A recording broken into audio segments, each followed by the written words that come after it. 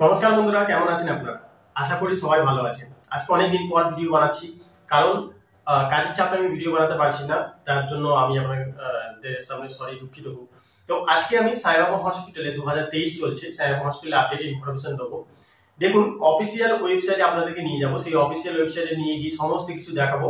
Patient ভর্তি হলে কি করতে হবে পেশেন্ট চলে গেলে কি হবে মানে ওখানে কি কি রুলস আছে, ঠিক আছে, এই সমস্ত নিয়ে। আর কি কি চিকিৎসা করা হয় এবং কি কি চিকিৎসা করা হয় না, এই দুটো নিয়েই আলোচনা করব, ঠিক আছে? তার ভেতরে যতগুলো ইনফরমেশন ছোট ছোট ওই ইনফরমেশন আছে, সেইগুলো সব কিছু আপনাদের দেওয়ার চেষ্টা করব। এবার দেখুন ওয়েবসাইটে যেগুলো লেখা আছে, সেগুলো আমি আপনাদেরকে সমস্ত কিছু বোঝানোর চেষ্টা করব, ঠিক আছে? এর বাইরে আশা করি আপনাদের অনেক ভিডিও দিয়েছি। আমি যখন হসপিটালে গেছিলাম তখন আপনাদের অনেক ইনফরমেশন দিয়েছি যে কীভাবে যেতে হয়, কি করতে হয়, কখন আপনাকে যেতে হবে। কি কি ট্রিটমেন্ট করা হয়, সমস্ত কিছু। কিন্তু আবারও আমি আপনাকে জানাবার চেষ্টা করব, কারণ অনেকে আমাকে কমেন্ট করছেন নতুন নতুন পেশেন্ট এসে নতুন নতুন আমার ভিডিও দেখছেন, তো তারা কমেন্ট করছেন যে সাহেব হসপিটালে গেলে কীভাবে কি করব?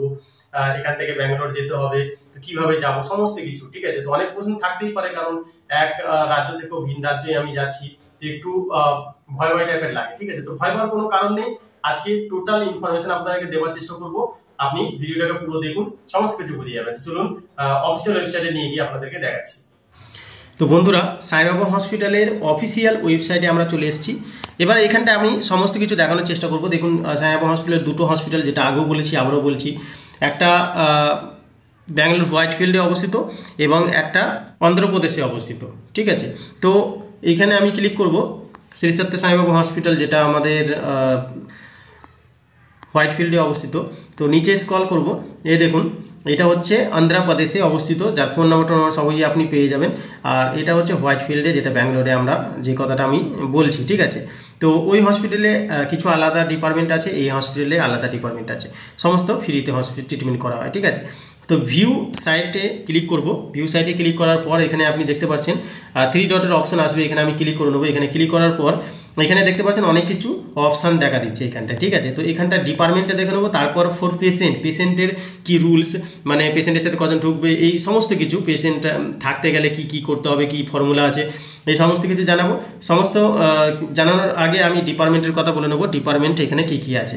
তো দু হাজার তেইশে ডিপার্টমেন্টে এখানে ক্লিক করব, তো এখানে আমি আপনাদেরকে বলে দিই যে কি কি চিকিৎসা করা হয় এবং কি কি চিকিৎসা করা হয় না, এটা আপনি দেখে নিন। এই দেখুন cardiology cardiac surgery neuro surgery আর অ্যানাথোসিয়োলজি নিউরোলজি। এই পাঁচটা সাবজেক্ট, এই পাঁচটা সাবজেক্টের মধ্যে যদি আপনার পেশেন্টের রোগ হয়ে থাকে, তাহলে এখানে আপনি ডেফিনেটলি ফ্রিতে চিকিৎসা পাবেন। ঠিক আছে? আর এর বাইরে যদি চিকিৎসা হয়ে থাকে, এর বাইরে যদি কোনো পেশেন্টের রোগ হয়ে থাকে, তাহলে কিন্তু এখানে চিকিৎসা হবে না, ঠিক আছে? নাইনটি পার্সেন্ট চিকিৎসা হবে না।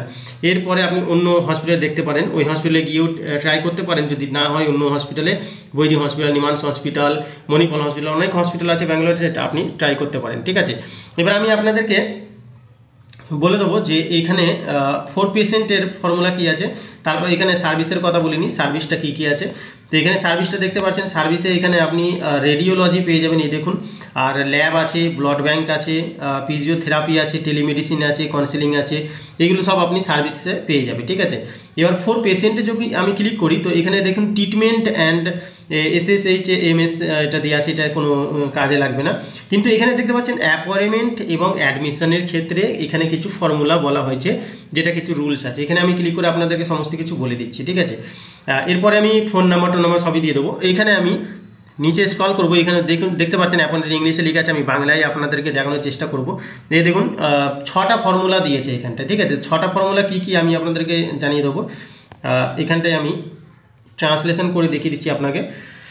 এই দেখুন এইখানে বলছে হোয়াইট ফিল্ডের রোগীদের দেওয়া সমস্ত চিকিৎসা পরিষেবা সম্পূর্ণ বিনামূল্যে হয় এখানে, সেটা সবাই জানে।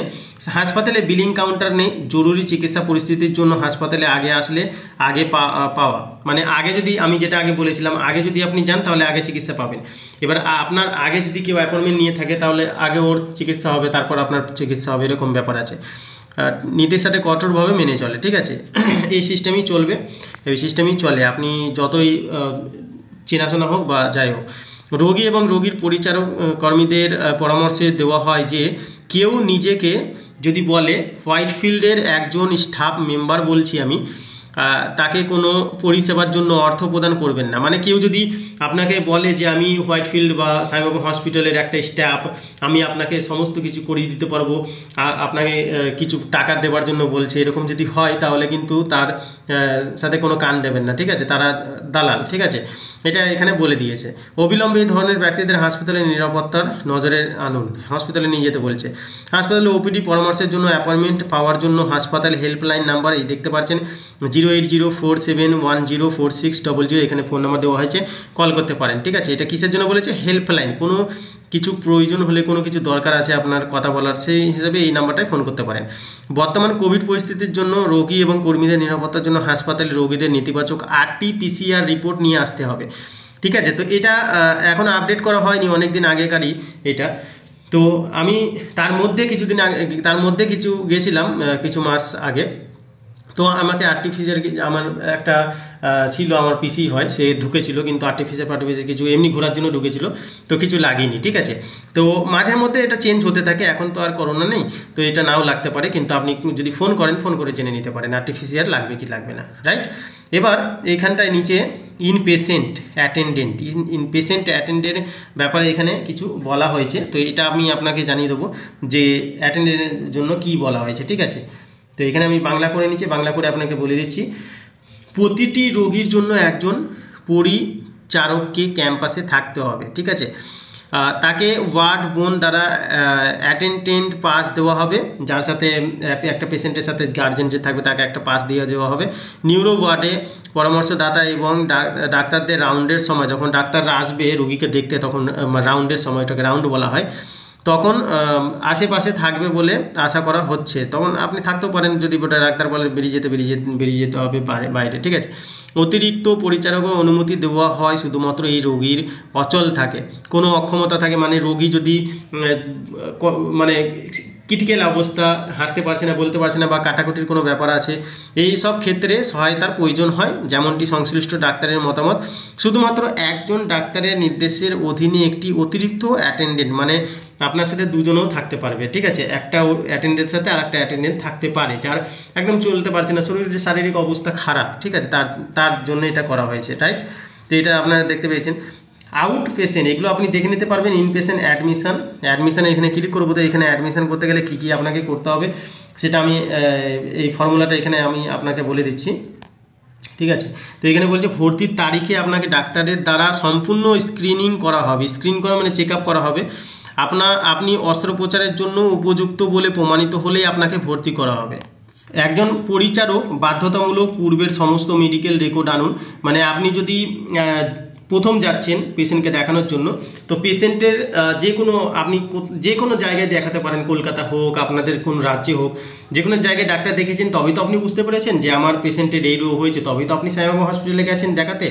তো এই সমস্ত কাগজ যে স্ক্যানিং হয়েছে স্ক্যান যেগুলো হয়েছে আলট্রাসোনোগ্রাফি এমআরআই যেটা আপনার আছে, যে আপনি বুঝতে পেরেছেন এই এই রোগটা হয়েছে এটা থেকে তো ওই রিপোর্টগুলো আপনাকে নিয়ে যেতে হবে, সাথে করে যে আমার পেশেন্টের এই রোগ হয়েছে। ওই রিপোর্ট দেখাবে, দেখালে তবেই আপনাকে ঢুকতে দেবে, ঠিক আছে? যে কোনো মেডিকেলের রেকর্ড যে কোনো অসুবিধা এড়াতে আপনার ভ্রমণের ব্যবস্থা করুন, যাতে আপনি নির্ধারিত দিনে সকাল আটটা তিরিশটার আগে হাসপাতালে আসেন। এখানে একটা ক্লিয়ার করা দেওয়া হয়েছে যে সকাল আটটা তিরিশের আগে আপনাকে কিন্তু হসপিটালে ঢুকে যেতে হবে।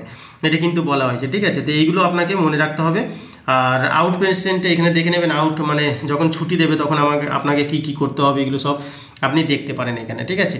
আরও কিছু জানার যদি থাকে, এখানে আমি দেখছি। যদি কিছু বলা থাকে আরও কিছু আমি আপনাকে বলে দিচ্ছি। আর তো সেরকম কিছু জানার নেই। আর আমি আপনাদেরকে বলে দিই যে এই হসপিটালে কিন্তু একদমই ফ্রি চিকিৎসা করা হয়। এবার আপনি কীভাবে যাবেন? হাওড়া থেকে আপনি ট্রেন ধরতে হবে আপনাকে।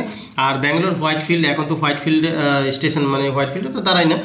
যশবন্তপুর যেতে নতুন স্টেশন এস এম বিটি ব্যাঙ্গালুরু। সেই স্টেশনে আপনাকে যেতে হবে। এখান থেকে আপনাকে কাটুগুড়ি যেতে যেতে হবে। কাটুগুড়িতে আপনি রুম ভাড়া নিয়ে নিন কাটুগুড়িতে থাকুন। তারপরে আপনি চিকিৎসা করাতে পারবেন। ঠিক আছে? তো এই সমস্ত কিছু এইখানটায় যেগুলো বলে দিয়েছি সেইগুলো কিন্তু আপনি মনে রাখবেন। আপনার যদি চিকিৎসা করানো করানোর থাকে ওখানে যদি যান তো তবে এগুলো আপনাকে ফলো করতে হবে ঠিক? আরও কিছু যদি জানার থাকে তাহলে এইখানে ক্লিক করে আপনাকে ডিপার্টমেন্টে ফোর পেশেন্টে ক্লিক করতে হবে। ফোর পেশেন্টে ক্লিক করার পর এখানটা দেখতে পাচ্ছেন হেল্প ডিস্ক এই অপশানে আপনাকে ক্লিক করতে হবে। হেল্প ডিস্কে ক্লিক করার পর এখানে আপনার সামনে সমস্ত কিছু চলে আসবে যে আপনাকে কি কি করতে হবে, কেমন কিছু, সমস্ত কিছু এখানে ইনফরমেশান মানে আপনাকে হেল্প করা হচ্ছে, ঠিক আছে? এখানেও একটু দেখিয়ে দিচ্ছি আমি পরে একটু শুনিয়ে দিচ্ছি, তাহলে আপনি আরও ভালো করে বুঝতে পারবেন। Shri Satya Sai institute of higher medical science Whitefield রোগীদের জন্য, সুবিধার জন্য cardiology, cardiac surgery neuro surgery neurology এবং জেনারেল স্পেশালিটিতে টেলি পরামর্শ শুরু করেছে। ঠিক আছে? রোগী, রোগীরা সপ্তাহের দিনে সকাল দশটা থেকে বিকেল চারটের মধ্যে সাহায্য ডেস্ক নম্বর, এত নম্বরে কল করে অ্যাপয়েন্টমেন্ট নিতে পারেন। একবার আপনি হেল্প ডেস্ক নম্বরে কল করলে অনুগ্রহ করে আপনার নাম, ফোন নম্বর এবং হাসপাতালের নম্বর প্রদান করুন। যদি ইতিমধ্যেই আমাদের হাসপাতালে নিবন্ধিত হয়ে থাকে, আমাদের কর্মীরা উপলব্ধ সময়সূচি অনুযায়ী এটি অ্যাপয়েন্টমেন্ট ঠিক করবে এবং আপনাকে পরামর্শ, তারিখ ও সময় জানাবে। আপনি এখানে নাম্বার দিয়ে আছে, সেই নাম্বারগুলোতে ফোন করে আপনাকে অ্যাপয়েন্টমেন্ট নিতে হবে, যদি আপনি আগে থেকে অ্যাপয়েন্টমেন্ট নিতে চান।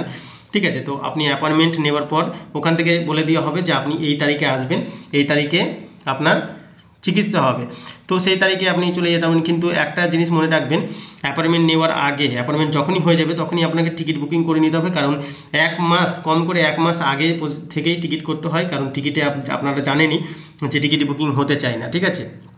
তো সেইগুলো আপনাকে খেয়াল রাখতে হবে, ঠিক আছে? তো আগে থেকে টিকিট বুকিং করে নিতে হবে, না হলে আপনাকে প্লেনে হয়তো এমার্জেন্সি হলে প্লেনে যেতে হবে, না হলে আপনাকে তৎকাল টিকিট কেটে যেতে হবে। তো বন্ধুরা, আশা করি আপনি এই ভিডিওটা দেখে অনেক কিছু বুঝতে পেরেছেন। এরপরও যদি কোনো প্রশ্ন থাকে, তাহলে নিচে কমেন্ট সেকশনে আপনাকে কমেন্ট করতে ভুলবেন না। এবং যদি আপনি নতুন হয়ে থাকে চ্যানেলকে সাবস্ক্রাইব করবেন লাইক অবশ্যই করে দেবেন। আবার দেখা যাচ্ছে নতুন ভিডিওতে ভালো থাকবেন, ভালো রাখবেন। নমস্কার।